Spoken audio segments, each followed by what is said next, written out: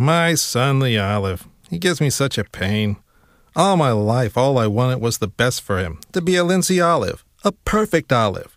But would he listen to me? Nah, he's got to act like a big shot all the time. Like when I told him, I said, Hershey, stay in the sun. The sun is wonderful for you.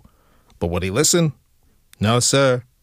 Like when I caught him hanging around with a bunch of bad olives. I said, Hershey, get away from them. You don't need them. You're a good olive. Do you think he listened to me? No.